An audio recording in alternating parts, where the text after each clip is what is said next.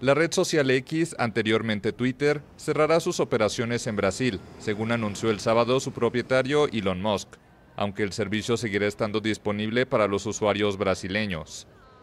Musk afirma que el grupo se vio obligado a tomar esta decisión para proteger la seguridad de su personal local.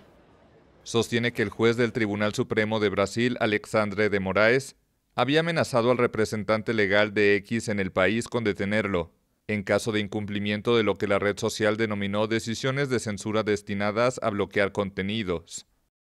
El multimillonario dijo que de Moraes es una vergüenza para la justicia.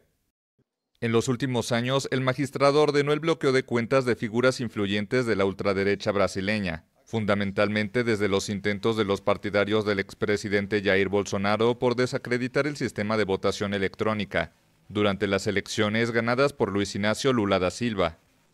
En abril pasado, X admitió que los usuarios de varias cuentas bloqueadas habían logrado eludir las restricciones.